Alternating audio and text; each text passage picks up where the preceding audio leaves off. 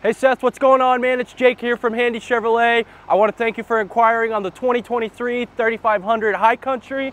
This truck is an absolute beast. I mean, it's got every bell and whistle in the book. Um, I'm a big fan of the Sterling Gray. Got some pretty unique headlights here. Got the Chevy bow tie. Of course, the Allison Duramax. Blind zone alert. Sweet step sides. Uh, it's got a six speaker Bose audio system heated and cooled seats, heated steering wheel, wireless charging, got some sweet wood in there, high country badging. Tons of room in the new crew cabs, 60-40 folding seats. This one actually does have the storage underneath the seats in the back here. Heated rear seats. Power sliding back window.